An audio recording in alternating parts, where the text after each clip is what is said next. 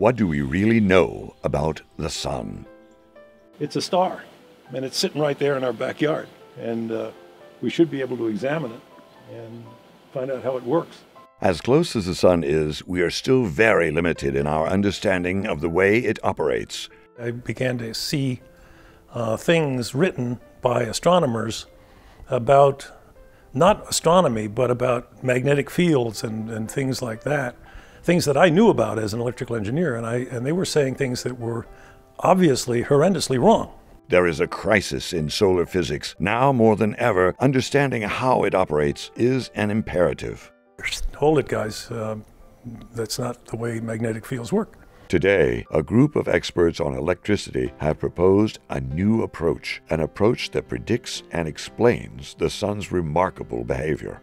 These ideas of the electric universe, uh, that stars are powered electrically, that they, they work electrically, that their characteristics are primarily uh, uh caused by electric phenomena.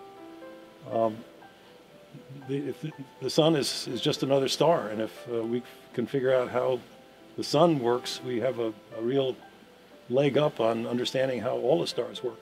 Electric universe theorists believe that the sun is not powered internally by fusion, but rather it is powered externally. Astronomers uh, began to admit reluctantly that yes, there were magnetic fields in space. If the electric sun theory is correct, then not only will our understanding of the sun's operation be radically changed, but our understanding of the entire universe will be altered forever. If there are magnetic fields out there, then there have to be electrical currents because Maxwell discovered early on, way before, even back in the 1850s, 1860s, that electrical currents caused magnetic fields. And if you didn't have an electrical current, you couldn't have a magnetic field. The electric sun is the topic of the keynote speech by Dr. Donald Scott at the first Electric Universe Conference to be held this January 6th through 8th in Las Vegas. Well, old friend, are you a transistor or not?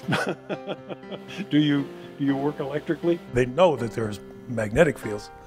They reluctantly say, well, there has to be some currents, but uh, they're very reluctant to admit that there, eh, that activity has any causality.